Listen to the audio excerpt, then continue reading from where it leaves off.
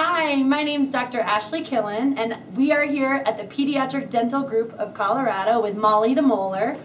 We're so excited to welcome your infants, children, and teens for some quality specialized dental care.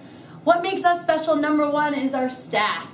We have amazing staff that we, many of them have worked with us for 30 plus years and love your children just as much as your own and have lots of experience helping take care of your children's teeth.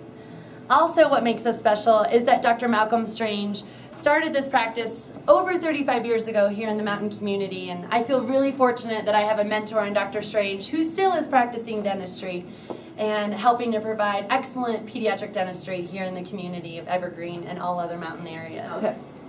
One of our favorite things about our office is our beautiful view that allows elk and deer to come up to our windows and watch our kid, your kids getting their teeth clean and also provide a great distraction.